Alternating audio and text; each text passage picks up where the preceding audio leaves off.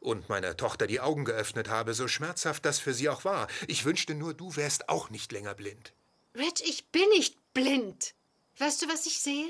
Zwei Menschen, die meinen Sohn vernichten wollen. Ihr habt ihn dazu verleitet, Dinge zu sagen, die er jetzt zutiefst bereut. Das ist nicht entschuldbar. Sie nimmt ihn schon wieder in Schutz. Was hast du erwartet, dass er untätig dabei zusieht, wie dein Sohn eiskalt unsere Tochter zugrunde richtet? Das hat mein Sohn zu keiner Zeit gewollt. Ja, denn er hatte es auf mich abgesehen. Und dazu hat der Kerl meine Tochter benutzt. Deshalb mussten wir ihn ausbremsen. Ich begreife nur nicht, wieso du das nicht siehst. Soll ich dir sagen, was ich sehe? Rich und ich haben an einer Lösung gearbeitet, bis du dich eingemischt hast. Wenn du dich nur verdammt nochmal rausgehalten hättest. Aber wir wissen Bescheid. Der wahre Grund ist nicht Steffi, sondern einzig und allein Ridge, weil du ihn nämlich zurückhaben willst. Aber eins musst du dir merken. Nur weil wir uns in dieser Sache nicht einig sind, werden wir nicht gleich aufgeben. Wir sind verheiratet, Taylor, und wir werden es auch bleiben. Hör endlich auf, dich anzubiedern. Es ist erbärmlich und peinlich mit anzusehen. Komm, Ridge, ich habe genug davon. Gehen wir. Wir sprechen uns.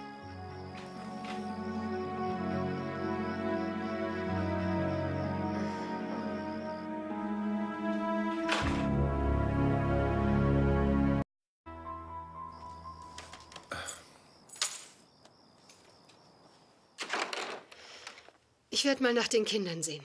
Logan, warte. Hör zu, so kann es mit uns einfach nicht weitergehen. Das finde ich auch. Rage, ich dachte, dass wir einer Meinung wären. Ich auch. Ich meine, es gibt in jeder Ehe irgendwann, na ja, du weißt schon. Es ist so, wie du zu Taylor gesagt hast. Wir werden das gemeinsam durchstehen. Ich bitte dich nur um eins. Lass uns nicht mehr über Rick reden. Hab ich meinen Namen gehört? Ich habe mir in der Küche einen Toast mit Schinken und Käse gemacht. Er ist nicht so gut wie die von Mom, aber... Was ist? Willst du was? Was hast du hier überhaupt verloren? Ich dachte, es wäre dir recht, wenn ich Steffi Zeit lasse, um in Ruhe aus dem Strandhaus auszuziehen. Es wäre mir höchstens recht, wenn du hier nicht aufgetaucht wärst, Rick. Und wo bitte soll ich hin? Meinetwegen in ein Hotel. Oh Gott. Wir wollten doch nicht mehr über Rick sprechen. Nein, wenn ich recht gehört habe, hat meine Mom nicht zugestimmt. Und jetzt macht er sich in unserem Wohnzimmer breit. Schon wieder nicht richtig. Das ist das Wohnzimmer meiner Mom. Bitte sag ihm, dass er verschwinden soll. Tut mir leid, aber das bringe ich nicht übers Herz. Nach allem, was er heute Abend durchgemacht hat. Nach allem, was er durchgemacht hat? Die Trennung von Steffi. Sie sind nicht mehr zusammen. Und wenn du erwartest, dass ich ihn jetzt rauswerfe... Ich erwarte von dir, dass du dich nicht mehr von ihm manipulieren lässt. Das kann er nämlich am besten. Und du fällst auf ihn rein. Ich falle nicht auf ihn herein. Ich bin seine Mutter. Deshalb musst du ihm aber doch nicht ständig zur Hilfe eilen. Nicht nach dem, was er getan hat. Rick ist nicht der Einzige, der sich nicht korrekt verhalten hat, Ridge. Ihn hier übernachten zu lassen, heißt noch lange nicht, ihm zur Hilfe zu eilen. Wo willst du hin? Ich schlafe nicht unter einem Dach mit Little Ricky. Ridge! Ridge! Mom! Mom! Lass ihn gehen. Ich habe schon wieder Mist gebaut, hm? Ich dachte, Rich wäre endlich zufrieden, wenn ich seiner Tochter ermögliche, in meiner Abwesenheit aus dem Strandhaus auszuziehen. Und was passiert? Der miese Heuchler kriegt einen Koller und schlägt Krach, weil ich unangemeldet bei meiner eigenen Mutter auftauche. Natürlich macht es Rich etwas aus. Alles, was heute Abend passiert ist. Na klar, es macht ihm nur nichts aus, dass meine Hochzeit mit Steffi geplatzt ist. Nein, Rick, du bist selbst schuld, weil du diese Dinge zu ihm gesagt hast. Er hat mich bewusst provoziert. Hör zu, du wusstest, wie er reagiert, wenn du hier auftauchst. Du hättest genauso gut zu deinem Vater gehen können. Mom, ich bin letzte Nacht durch die Hölle gegangen, das weißt du doch selbst. Du hast mich ermutigt und du bist mir zur Seite gestanden. Aus diesem Grund bin ich zuerst zu dir gekommen. Oh ja, ja, sicher. Und wieder einmal stehe ich jetzt zwischen meinem Sohn und meinem Ich Mann. wollte das Verhältnis zwischen Rich und mir verbessern. Ich habe es versucht. Ich dachte, wenn wir am Point Doom heiraten, wären alle unsere Probleme gelöst. Wenn Steffi und ich uns dort das Ja-Wort geben, dann wären endlich alle zufrieden. Ja, das habe ich auch gedacht. Aber das bezweifle ich jetzt. Ich war der Überzeugung, du würdest meine Ehe mit Rich akzeptieren. Aber das war nicht der Fall. Es passt dir nicht, dass ich Riches Frau bin. Ich soll allein bleiben. Nein, nein, das ist lächerlich. Du wirst niemals, niemals allein sein. Weil ich dein Sohn bin. Und für dich da sein werde. Mom, ich hoffe, du weißt, was ich dir sagen wollte. Du hast mich. Und ich habe auch einen Ehemann, der immer wieder weggeht, weil er auf keinen Fall mit meinem Sohn zusammen sein möchte. Ach so, dann ist das also meine Schuld. Nein, nein, das habe ich nicht gesagt. Aber wie es aussieht, kann Rich seine Abneigung gegen dich nicht von seiner Liebe zu mir trennen. Und das hat negative Auswirkungen. Natürlich auch auf meine Ehe. Sie ist dadurch sehr beeinträchtigt. Ich habe immer gedacht, wir können das gemeinsam durchstehen, aber jetzt bin ich mir nicht mehr so sicher. Ich darf ihn nicht verlieren. Tut mir leid, dass du leidest. Aber ich werde dir beistehen. So wie du mir immer beistehst.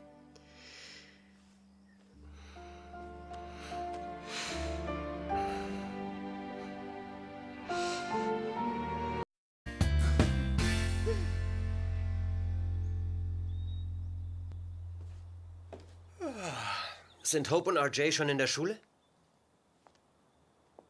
Hat Rich die Nacht bei Taylor verbracht? Keine Ahnung. Keine Ahnung.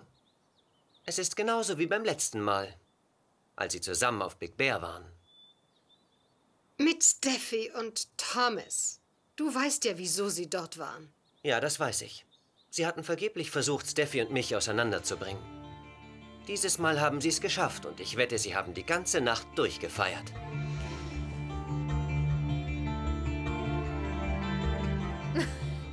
Ich weiß, tut mir leid, dass du so früh gehen musstest. Und wie ist es gestern Abend gelaufen? Wir hatten alle sehr viel Spaß mit Steffi. Es hat ihr so gut getan. Sie, sie fühlte sich im Kreis ihrer Familie gleich viel besser. Das war wichtig für sie. Weißt du, Taylor, das habe ich gespürt und deshalb bin ich gegangen. Ja, es hat sich alles so richtig angefühlt. Es war toll, es war fantastisch, dass wir alle zusammen waren. Und heute Morgen waren Rich und ich in der Küche und haben Thomas und Steffi beim gemeinsamen Frühstück belauscht. Er hat bei euch übernachtet? Ja, im Gästezimmer. Diesem Missstand kann man doch abhelfen. Ja, das würde ich gern, aber Rich ist immer noch mit Brooke verheiratet. Und das muss ich respektieren. Ja, solche Probleme habe ich Gott sei Dank nicht mehr. Äh, Taylor, ich muss aufhören. Die Arbeit ruft. Wo bleiben Sie denn so lange? Wir sind doch pünktlich. Ich fange gern früh an. Bridgets Show war ein wichtiger Impuls. So sollten wir doch Oh ja, weitermachen. apropos Impuls. Jemand Ja. hat mir erzählt, dass wir in Ion Fashion eine Kritik haben. Voila! Oh, wunderbar. Und zwar... Oh nein. Was ist los? Was Schlimmes? Es ist furchtbar.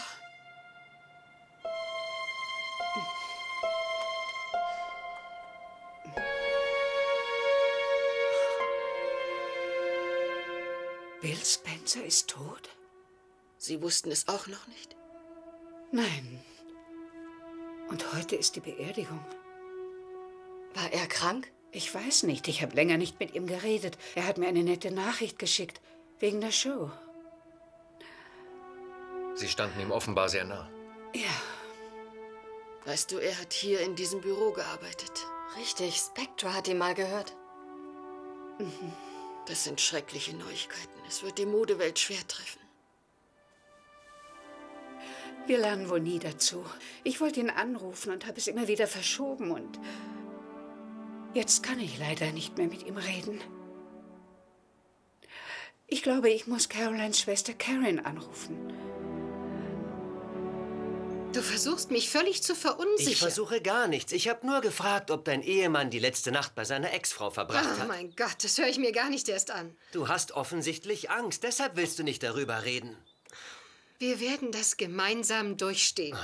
Rich ist gestern Abend gegangen. Er ist gegangen, weil er es wollte und du hast es nicht geschafft, ihn aufzuhalten. Nein, er Doch, wollte er ist nicht einfach gehen. weggefahren, weil er mich nicht in seiner Nähe haben will. Ich habe dir immer gesagt, lass dich nicht mit Steffi ein. Ich wusste, dass das so Es ist kommt. noch nicht vorbei.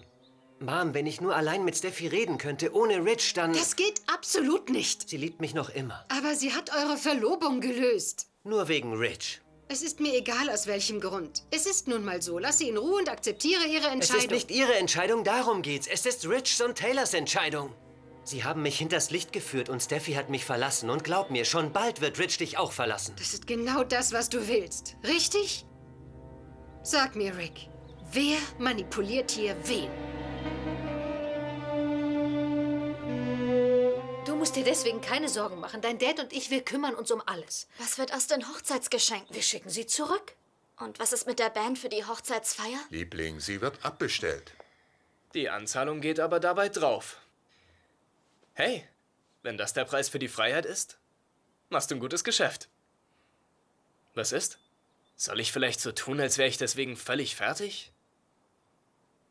Du bist traurig und das tut mir sehr leid. Du dachtest, Rick ist ein netter Kerl, aber du hast dich getäuscht. Mir tut es nicht leid, dass du ihn los bist. Ich bin sogar erleichtert. Solltest du auch sein. Er hat aus unserem Zuhause ein Irrenhaus gemacht. Er hat mich fast in den Wahnsinn getrieben. Was ich getan habe, war falsch. Ich bin viel zu weit gegangen. Aber ich habe es aus Liebe getan. Ich sage dir das alles nur, weil ich dich liebe und will, dass du glücklich wirst. Und jetzt, wo Rick für dich Vergangenheit ist, wirst du es auch werden. Komm her.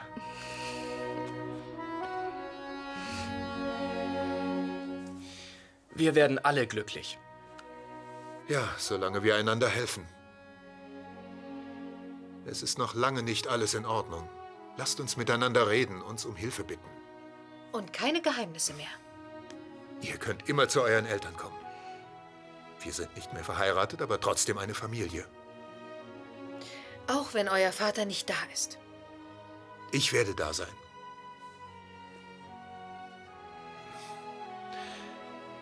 Ich habe zwei Familien. Beide sind gleich wichtig für mich. Aber ich habe euch vernachlässigt. Das tut mir leid, durch meine Abwesenheit hier ist eine große Leere entstanden. Und Thomas hat gedacht, er könnte diese Lücke ausfüllen. Das tut mir sehr leid. Ich gebe euch mein Wort. Ich bringe euch nie mehr in eine solche Lage.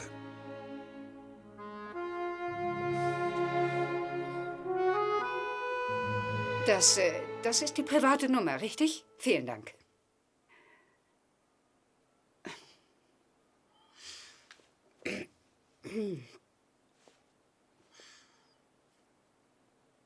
Karen, hier ist Stephanie Forrester.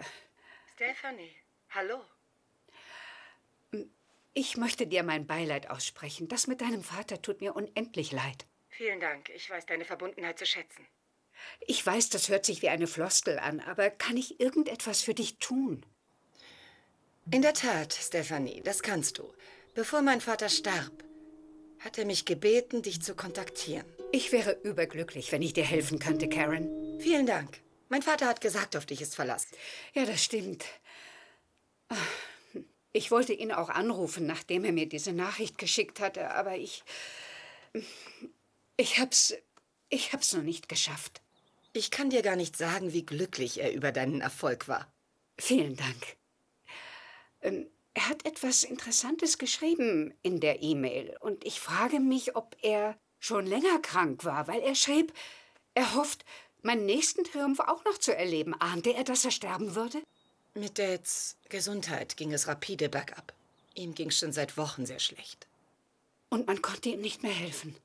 Naja, er bekam Schmerzmittel und dafür war er sehr dankbar. Er konnte seine Angelegenheiten noch in Ordnung bringen. Ähm, und jetzt wirst du die Firma übernehmen? Oh mein Gott, ich weiß nicht, wer die Firma übernimmt. Mein Vater hatte kurz vor seinem Tod Gespräche mit seinen Anwälten. Und ich wäre nicht sehr überrascht, wenn er sich gegen mich entschieden hätte. Aber du bist seit Jahren bei Spencer Communications. Außerdem bist du seine Tochter. Ja, genau. Vielleicht, wenn ich sein Sohn wäre. Dad war sehr altmodisch. Er wollte immer nur Männer im Vorstand. Mich hat er immer ebenbürtig behandelt. Ich glaube, du bist die Ausnahme für sehr viele Regeln. Weißt du, Dad hat dich immer sehr bewundert. Nun ja, das beruhte auf Gegenseitigkeit. Seit der E-Mail, die er mir am Anfang dieser Woche geschickt hatte, habe ich viel nachgedacht. Über deinen Vater und dich und Caroline und äh, vielleicht, wenn sie nicht so jung gestorben wäre, dann wäre Rids Leben anders verlaufen. Ohne Brooke.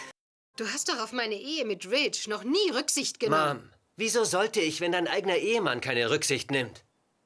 Erst sagt er dir, dass alles wieder gut wird und dann lässt der Kerl meine Hochzeit platzen. Er wollte nur seine Tochter beschützen. Rich hat dir gesagt, dass er dazu bereit ist, meine Ehe mit Steffi zu akzeptieren. Entweder hat er gelogen oder es hat sich etwas geändert. Und vielleicht sind das seine Gefühle für dich.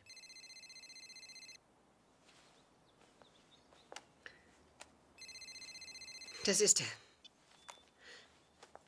Hallo. Hey, ich hab gedacht, ich melde mich mal. Ich bin froh, dass du anrufst. Wie geht's den Kindern? Sind sie schon in der Schule? Oh ja, alles wunderbar. Ich habe ihnen gesagt, du musstest früh ins Büro. Gut gemacht. Ich bin noch bei Taylor, aber ich werde bald nach Hause kommen. Du hast bei ihr übernachtet. Ich habe so gut wie gar nicht geschlafen. Ja, ging mir genauso.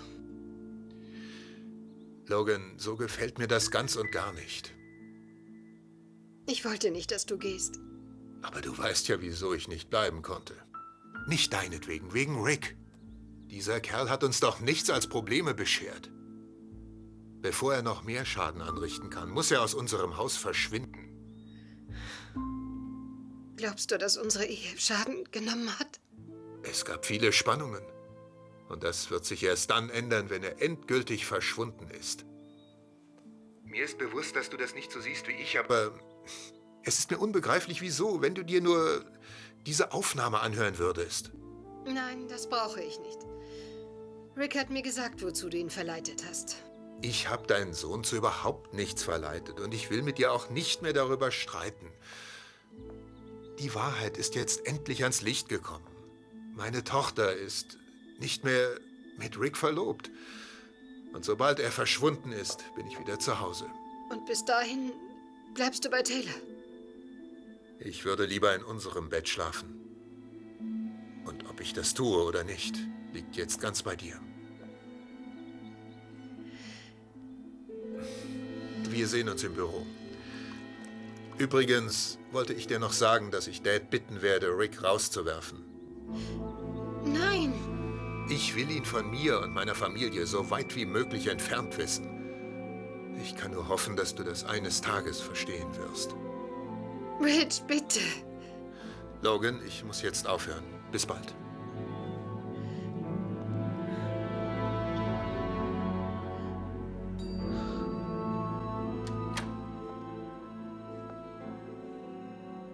Eric?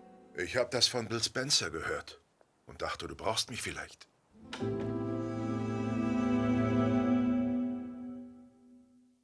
Rich geht also zu Dad. Und ich soll verschwinden. Aus dem Haus und aus der Firma. Und wenn du nicht einverstanden bist, kommt Rich nicht mehr nach Hause. Also lass uns festhalten. Erst hat er mich hinters Licht geführt und jetzt versucht er dich zu erpressen. Wir können ihm das auf keinen Fall durchgehen lassen. Wenigstens einmal in deinem Leben musst du dich diesem Mann widersetzen. Du beziehst Stellung für unsere Tochter. Und gegen Brooks Sohn. Gut möglich, dass sie es so sieht. Ich bin sicher, Dad wird es auch so sehen. Außer er erfährt, wie Rick über Steffi gesprochen hat. Ich will nur, dass Brooke einsieht, wie destruktiv er ist. Sie muss das endlich erkennen. Und dann gehst du wieder zurück zu ihr und Rick muss verschwinden. Taylor, wenn du mich brauchst, werde ich für dich da sein. Oh, wir kommen schon klar. Hör zu. Wenn unsere Kinder irgendwas brauchen, wenn du irgendwas brauchst, werde ich da sein. Du musst nur anrufen, jederzeit. Vielen Dank. Thomas ist wieder auf dem richtigen Weg. Steffi weiß endlich, was für ein Mistkerl Rick ist. Unseren Kindern geht es besser. Viel besser als noch letzte Woche. Und das ist dein Verdienst. Du bist eine bemerkenswerte Frau.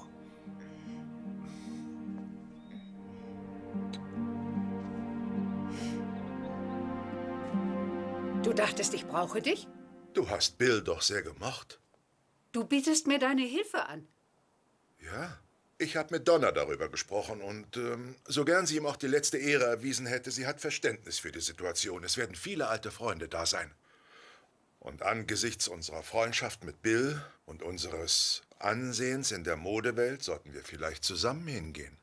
Oh, damit du den verständnisvollen Ex-Ehemann spielen kannst, der seiner betrübten Ex-Ehefrau erlaubt, ihren Kopf an seine Schulter zu lehnen? Ich will dir nicht zumuten, das allein durchzustehen. Eric, ich bin es schon seit sehr, sehr langer Zeit gewöhnt, sehr viel allein durchzustehen, auch in unserer Ehe. Aber das sieht dir wieder mal ähnlich. Der gute Eric, der immer da ist, wenn man ihn braucht. Das ist auch der Grund, wieso du glaubst, dir so viel erlauben zu können. Was erlaube ich mir denn? Ein selbstherrlicher alter Egomane zu sein. Du dachtest, ich brauche dich. Naja, das war so, 50 Jahre lang. Ich habe 50 Jahre gehofft, dass du erwachsen wirst. Und dass du mich mit Achtung und Respekt behandelst. Du bist jetzt nur hier, weil Mrs. Honigbär es dir erlaubt hat. Ich brauche das nicht, vielen Dank. Du lässt dir nicht helfen, weil du noch immer sauer auf mich bist. Nein, ich. Nein, es ist deswegen, weil ich mir nichts mehr von dir erwarte. Die Kinder tun das. Sie fühlen sich ein wenig gedemütigt von deinen Eskapaden, aber ich nicht. Nicht mehr. Ich bin nicht mehr die leidende Ehefrau. Das ist eine Rolle, die nie zu mir gepasst hat. Dafür passt diese hier wie angegossen. Wir haben es immer geschafft, nebeneinander zu existieren, egal was in unserem Leben auch passiert ist. Egal, mit wem du gerade geschlafen hast. Es geht hier nicht um Donner. Gott. Genau deswegen habe ich dich gefeuert. Du hast mir einen Gefallen getan. Ich wäre nie von Forrester weggegangen. Ich habe mich von der Vorstellung gelöst, die Matriarchin sein zu müssen. Und Nick und Jackie haben mir die Chance gegeben, die zu sein, die ich bin. Stephanie Douglas. Ja, ja, ich erinnere mich. Du glaubst, es ist diesmal genauso wie die anderen Male, als wir uns getrennt haben. Aber das stimmt nicht. Du glaubst, ich warte nur darauf, dass du wieder zur Vernunft kommst. Aber jetzt bin ich vernünftig. Ich will dich nicht mehr. Das ist doch wohl nicht dein Ernst. Maß dir nicht an, mir zu sagen, was mein Ernst ist. Ich bin nicht gekommen, um mir irgendwas anzumaßen. Oh doch. Weil du genau wie früher denkst. Du denkst, nichts hat sich geändert. Aber für mich hat sich alles geändert. Du willst, dass ich zusammen mit dir zu Bills Beerdigung gehe. Und du hast den Nerv zu sagen, du tust es mir zuliebe, obwohl du es dir zuliebe tust. Tut mir leid, Eric. Ich kann in der Öffentlichkeit nicht so tun, als wären wir befreundet. Denn ich bin nicht deine Freundin. Ich bin deine Rivalin. Und ich bin eine Frau, die sich entschieden hat, unabhängig zu sein. Unabhängig von dir? Von der Firma, die wir aufgebaut haben?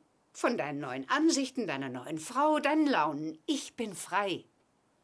Ich habe mich von dir befreit. Ich begehre dich nicht, ich brauche dich nicht. Und ich erwarte nichts von dir. Und ich will dich auch nicht wiedersehen. Ich weiß nicht, was ich dazu sagen soll. Leb wohl würde genügen. Ich erinnere mich gern an die Zeit mit dir, denn trotz allem bist du der Vater meiner Kinder. Aber wir sind nicht mehr Mann und Frau. Wir sind weder Geliebte noch Geschäftspartner. Und leider sind wir auch keine Freunde. Also, leb wohl würde genügen.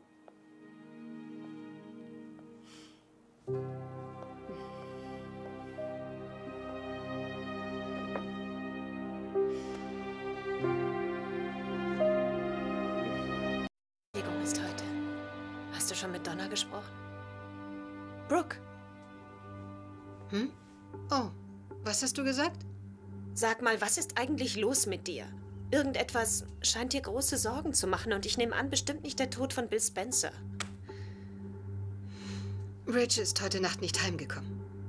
Mutter ist allein zu dieser Beerdigung gegangen? Ich habe ihr angeboten, sie zu begleiten, aber sie braucht mich nicht, meint sie. Du hast dir sehr deutlich gezeigt, dass du sie nicht brauchst, als du sie gefeuert hast.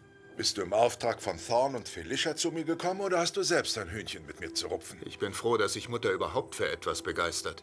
Ich wünschte zwar, es wäre nicht Jackie M., aber wenigstens hat sie sich nicht im Bett verkrochen. Ich habe mich um alles gekümmert. Pam schickt Blumen zu Bills Beerdigung. Vielen Dank, mein Schatz. Du gehst gar nicht hin? Immerhin hattest du ziemlich viel Kontakt zu Bill während deiner Zeit als Model, nicht wahr? Das war vor einer halben Ewigkeit, Rich. Daran wird sich bestimmt niemand mehr erinnern. Offensichtlich doch. Ich bin äh, zu seiner Testamentseröffnung eingeladen worden. Was glaubst du, hat das zu bedeuten?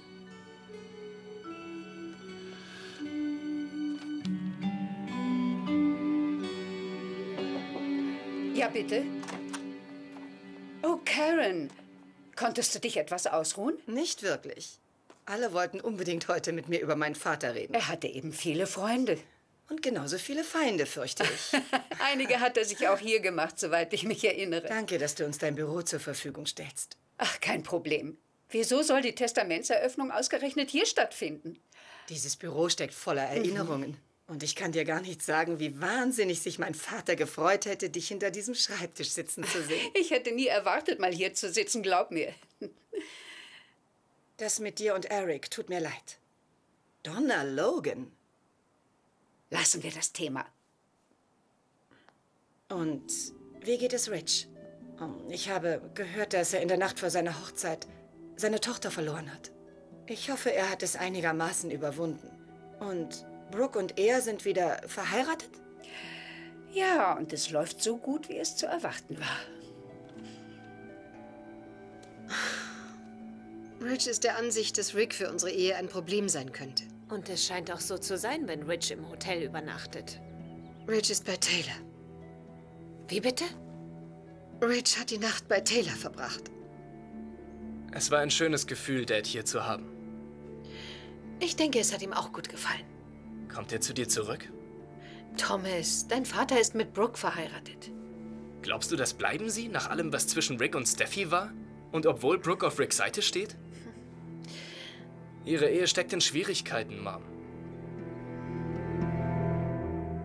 Stephanie Forrester, Clark Garrison, Mr. Simmons, der Anwalt meines Vaters. Angenehm. Guten Morgen.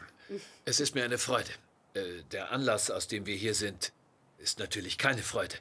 Aber es freut mich, dass ich Sie kennenlerne. Äh, warten wir noch auf jemanden? Im Testament wird nur noch eine weitere Person erwähnt. Nur noch eine? Ich dachte, dieses Büro würde voll werden. Sie würden eine DVD einlegen und wir würden alle hier sitzen und dem alten Mann dabei zuhören, wie er unter Tränen erklärt, wie leid es ihm jetzt tut, dass er so ein Mistkerl gewesen ist. Hm, Nichts für ungut. Das wäre nicht sein Stil. Mein Vater war nicht so der Typ, der sich entschuldigt. Donna? Donna Logan. Inzwischen Mrs. Eric Forrester. Vielen Dank. Lassen Sie uns anfangen. Danke, Clark. Wissen Sie, ich verstehe nicht so ganz genau, weshalb ich hier bin. Das wird sich alles aufklären, wenn ich Mr. Spencers letzten Willen verlesen habe. Wer weiß, vielleicht wollte Bill sein Gewissen erleichtern.